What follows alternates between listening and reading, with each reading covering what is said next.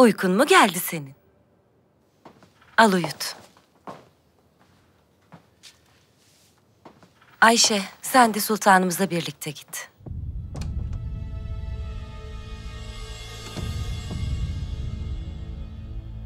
Ayşe Hatun, Buyurun sultanım. aklın nerede senin?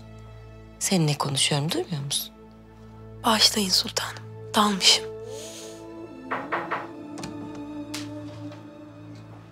Fidan, Sultanım, eğlence nasıl? Şehzademin keyfi yerindedir inşallah. merak buyurmayın sultanım. Cariyeler öyle raks ediyorlar ki şehzademiz halinden memnun. Güzel. Rümeysa nerede?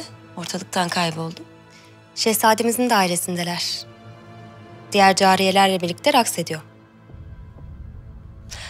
Sen mi yolladın? Hayır sultanım. Kendi geldi. Bana sizin yolladığınızı söyledi. Bak sen şuna.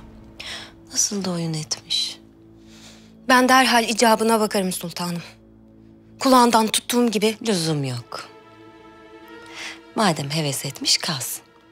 Nihayetinde o da diğer cariyeler gibi şehzademi memnun etmek için burada.